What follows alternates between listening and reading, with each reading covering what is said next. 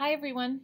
In this video we're going to go over how to install SofTest on your computer and download an exam. Remember, Jennifer or Sarah will always sit with you if you'd rather run through this in person. It's not an issue. Go ahead and stop up on the 15th floor at 1512 anytime. Okay, first we'll want to go to one of two sites depending on your computer. If you're a Windows user, you'll want to go to www.examsoft.com dot com forward slash get STWIN 11. As you can see, I'm on a Mac, so I'm going to go to www.examsoft.com forward slash get STMAC 11.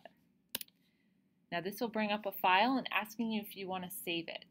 Go ahead and save it, run through all the instructions to install it.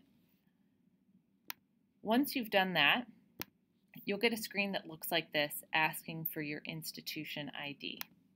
That institution ID is just Tufts Dental, all one word. Go ahead and click Next. This will take you to a box that wants your Tufts username and password. Before you put in your username, you'll need to put in Tufts Dental backslash your Tufts username and your Tufts password.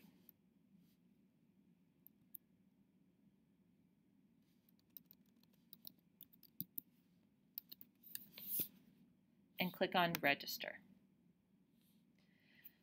Now a box will pop up asking you if you want to download your exams. Go ahead and click on Yes. I have one exam ready for download, so I'm going to go ahead and click on that exam, click on that download button.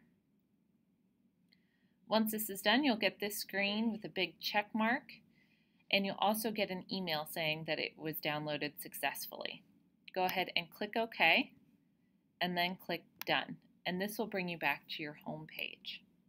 You've now installed SofTest, registered your computer, and have your exam.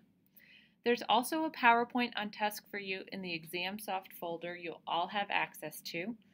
And again, if you have any questions, please don't hesitate to contact Jennifer or Sarah or come up and visit us on the 15th floor at any time.